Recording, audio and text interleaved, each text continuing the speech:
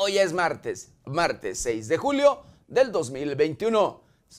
¿Sí? Seis días, seis días de este, el séptimo mes de este año, este año difícil, de este año complicado, de este año preocupante. Difícil, complicado y preocupante en todos los sentidos. Llámesele en temas financieros, en temas sociales, en temas de política, en temas de educación, en temas de salud con esta pandemia y por supuesto, lo que nunca, nunca puede faltar, triste y lamentable, a pesar de los esfuerzos, a pesar de los compromisos, a pesar de que hay leyes, ¿sí? La corrupción, ¿sí? A pesar de que hay todo ello, no se combate la corrupción, no se acaba la corrupción. Y así, también la corrupción, triste y lamentablemente, pues es parte de lo que cotidianamente pues se vive. Y que gracias a este tema de la corrupción viene de la mano la inseguridad. Así, difícil, complicado y preocupante las cosas en nuestro país. Así como usted lo escucha, la realidad, la realidad que día a día se vive en los diferentes rincones de todo, de todo el país, de toda la geografía mexicana.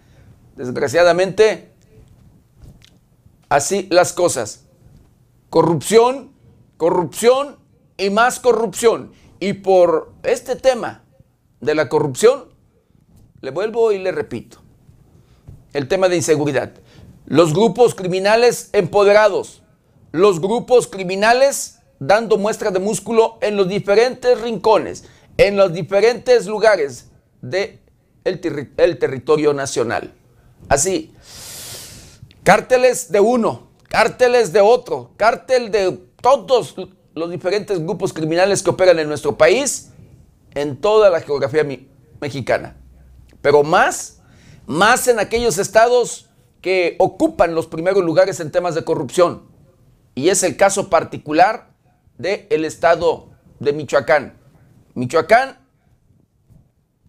que es uno de los estados, escuche usted, que alberga más de nueve cárteles, más de nueve grupos criminales y que, por supuesto, estos grupos criminales, pues, tienen el control absoluto en el lugar donde operan y que no permiten en lo absoluto para nada el ingreso ni de autoridades, ni mucho menos, por supuesto, de los grupos criminales contrarios. Pero así como usted lo escucha, una realidad que se vive en todos los rincones de la geografía del estado de Michoacán.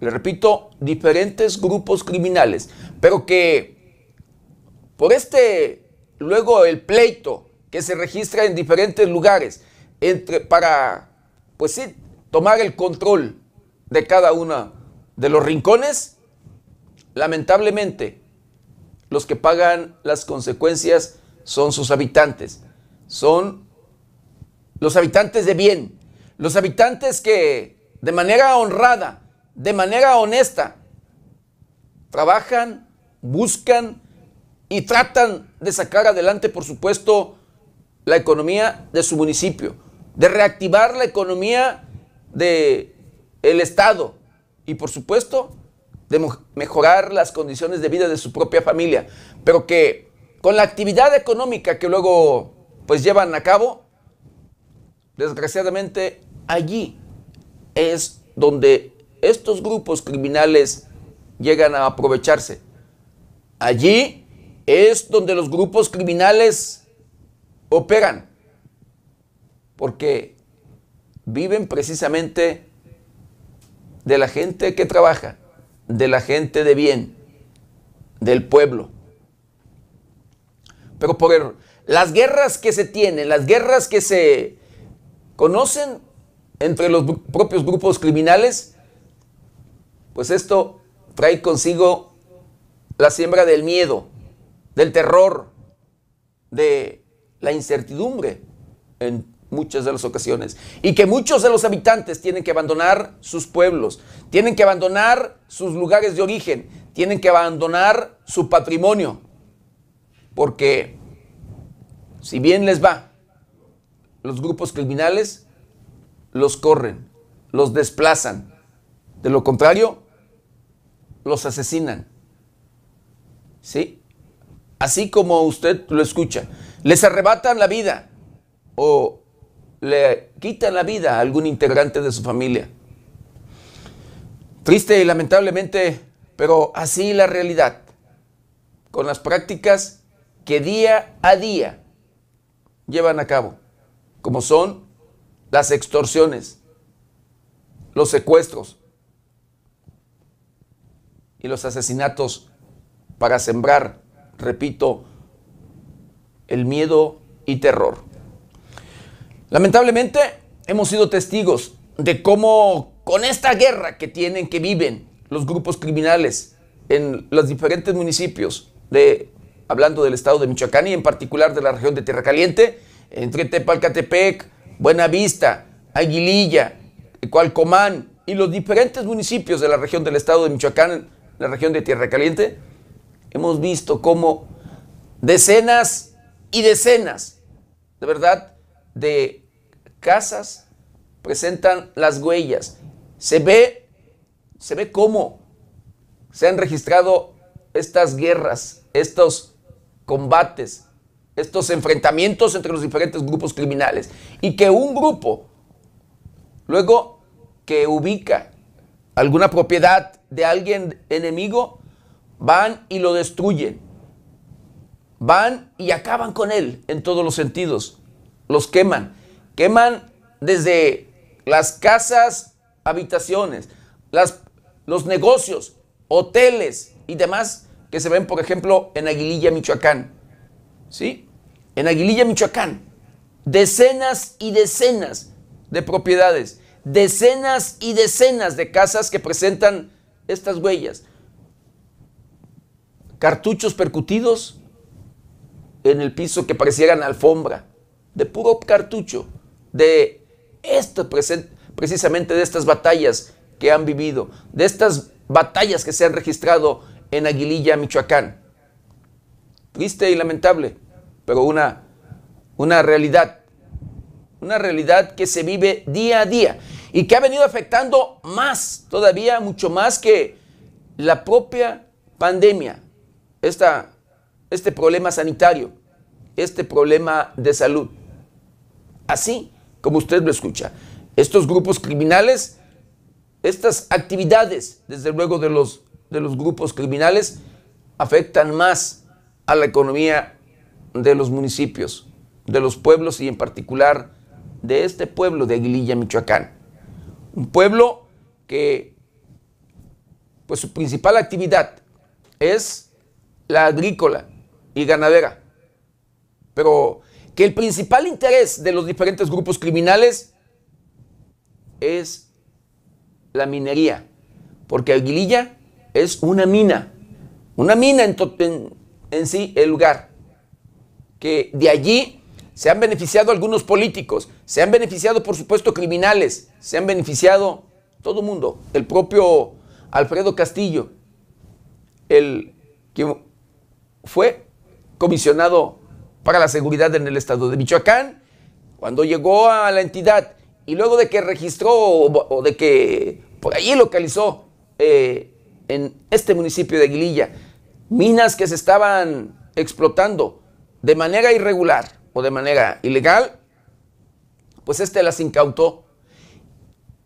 Y lejos de haberlas pues asegurado o puestas, haberlas puesto a disposición de las propias autoridades, este las vendió a quienes los mismos criminales se los vendían, a los chinos.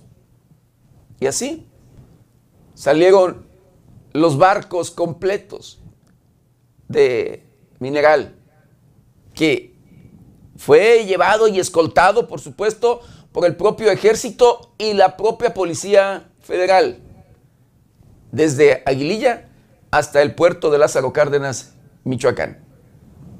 Así como usted lo escucha. se han beneficiado en todos los sentidos. repito, políticos y criminales de este, de este tema en Aguililla, Michoacán, de la minería o del mineral. Y ese es el principal, el principal interés de los grupos criminales. No, no los narcolaboratorios, que de acuerdo a, la geografía del lugar, es un lugar estratégico para la instalación de estos, los narcolaboratorios y por supuesto la elaboración de las drogas sintéticas.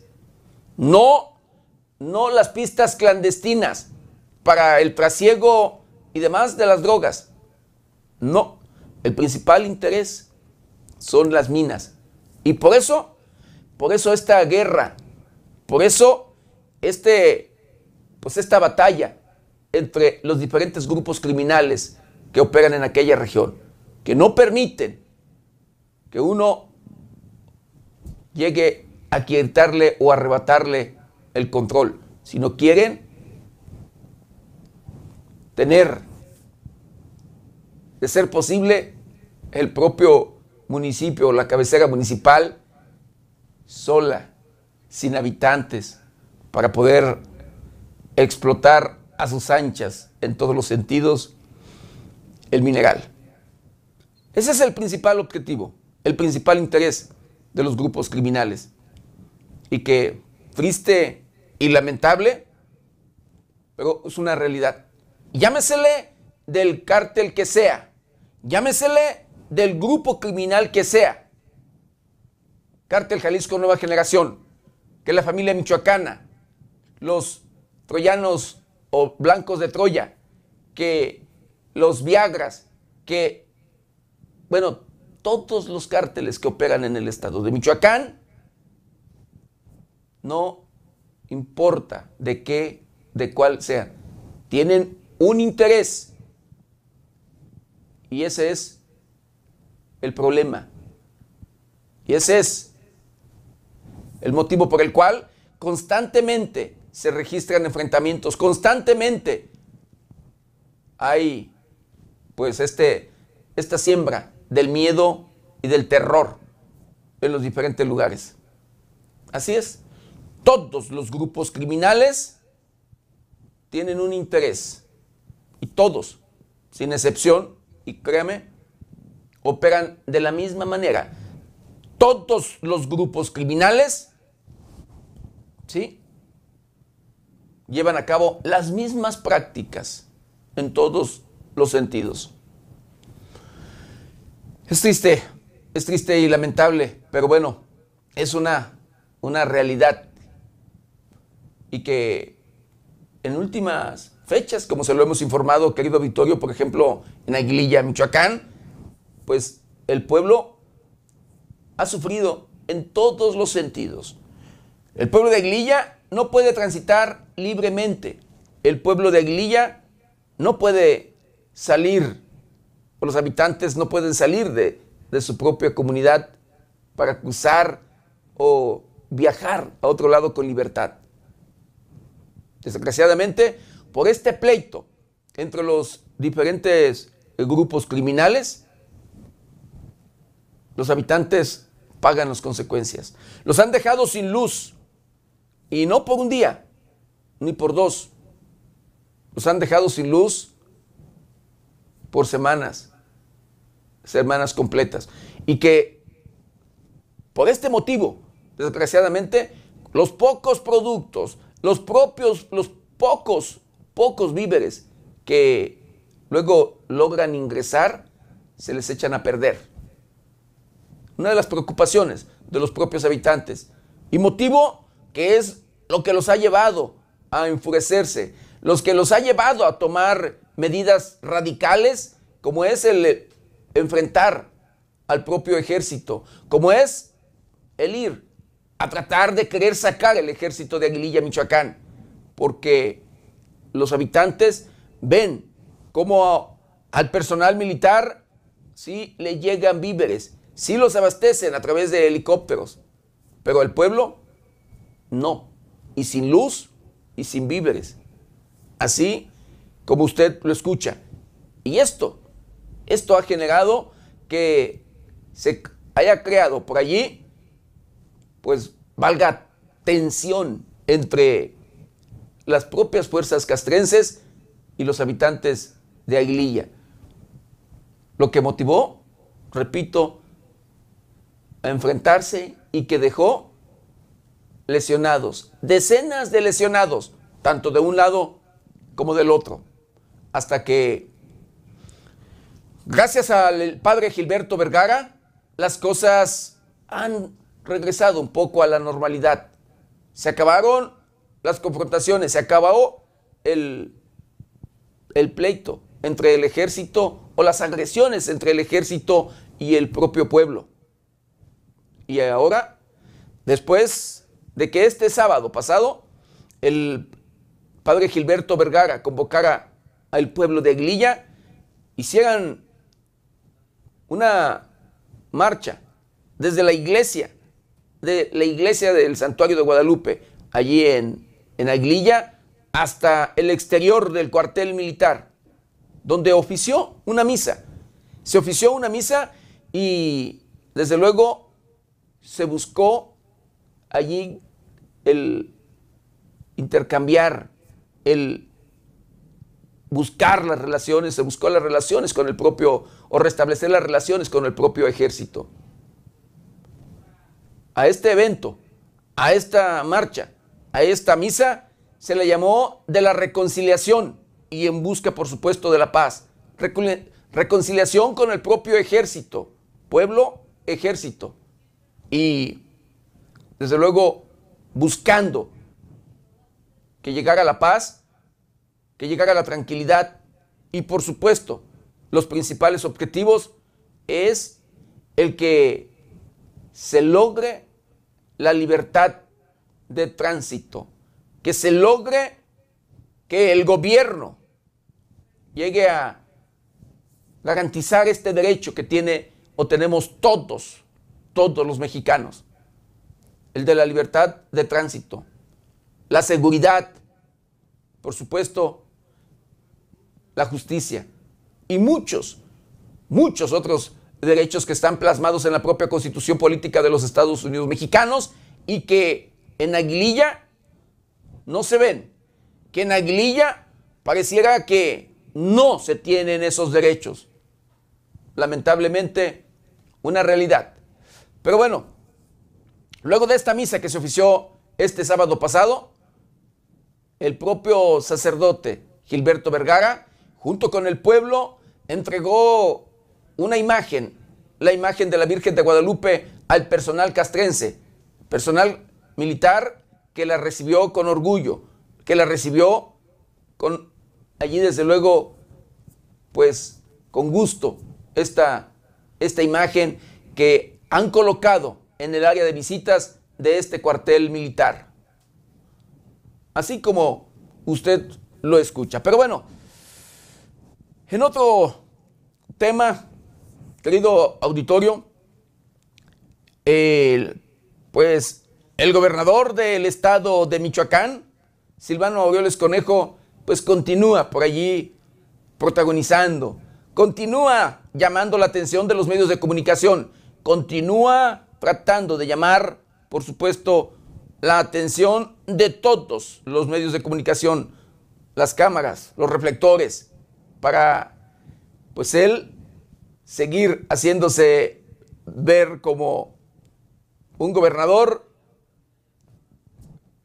Bien, un gobernador honesto, un gobernador como si hubiera trabajado, un gobernador como si le hubiera cumplido a los michoacanos en todos los sentidos.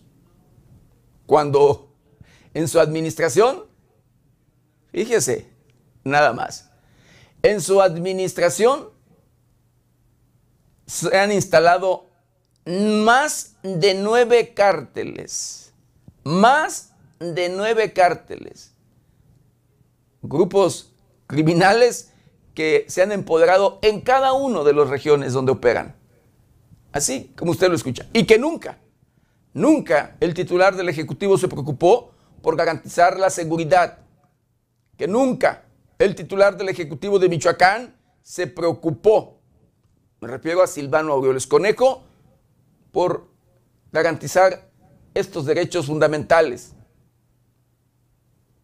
Pero bueno, el día de ayer, luego de que en fechas pasadas fue a buscar al presidente de la República para supuestamente llevarle pruebas, cuando él el día anterior o dos días antes había dicho ante los medios de comunicación en el estado de Michoacán que ni siquiera tenía pruebas, que no se podía, que cómo iba a tener él pruebas.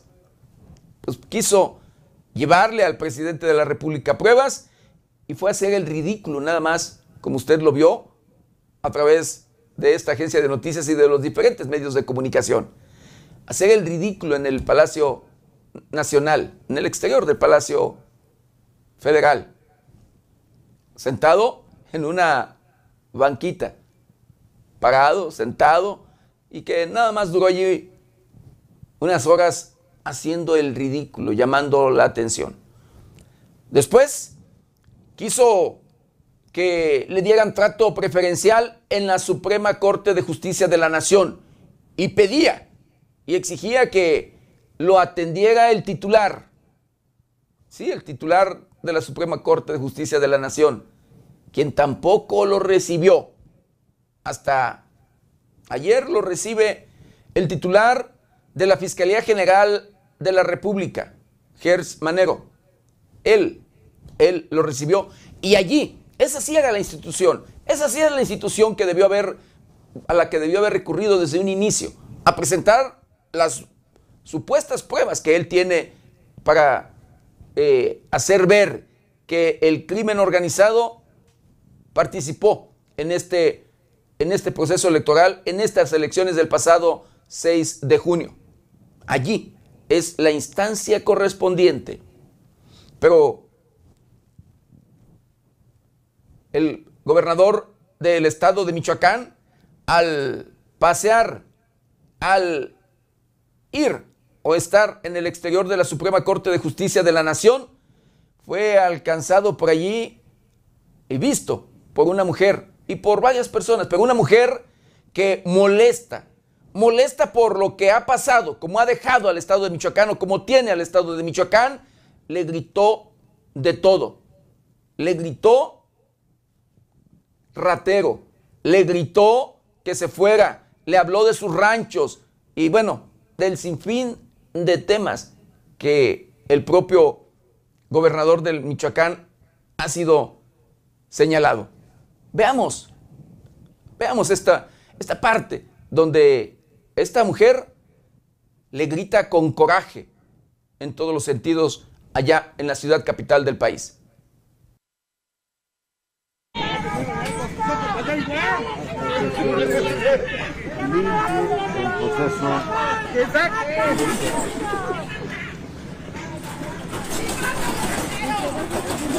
Sí. Pero bueno, es como le van diciendo de todo.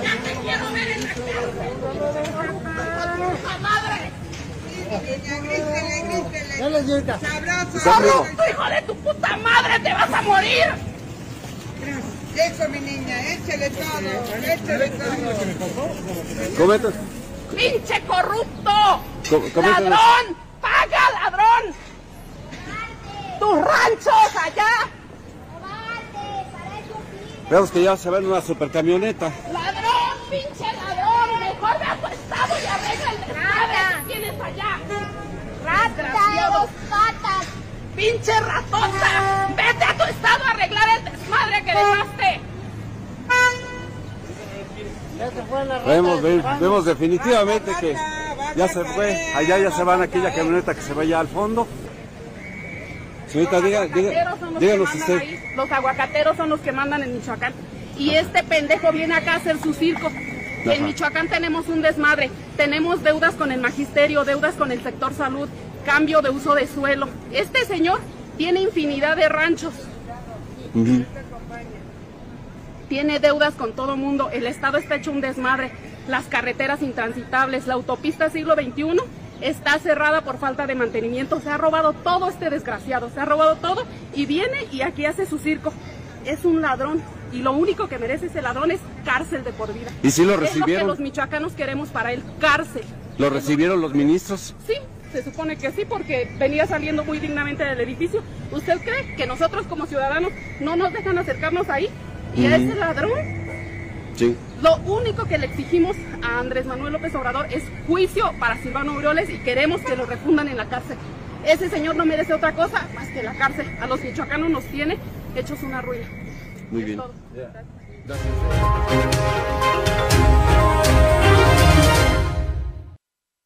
Así, así fue como esta mujer encaró a Silvano Aureoles Conejo el día de ayer.